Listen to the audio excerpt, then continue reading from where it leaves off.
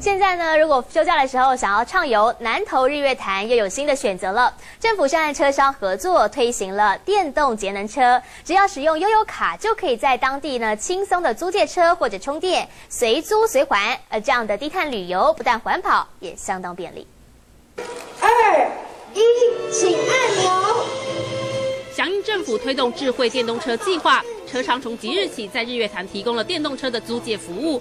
启动仪式上，政商云集，总共投入三十五辆的环保智能车。那其中呢，有十九辆呢是 iQ 的电动车，那另外十六辆呢是 Prius 的插电式油电车。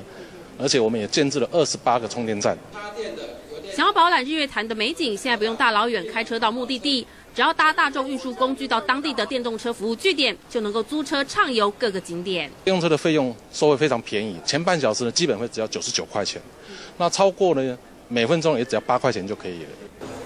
游客注册成为会员之后，从租车、还车到充电，甚至开车门，一张悠游卡就能够搞定。进一步，市长也忍不住试驾体验电动车的性能。电动车它的马力，呃，它的扭力非常足，所以呃，在上坡以及山路非常的适合。那车子很小，操纵很方便。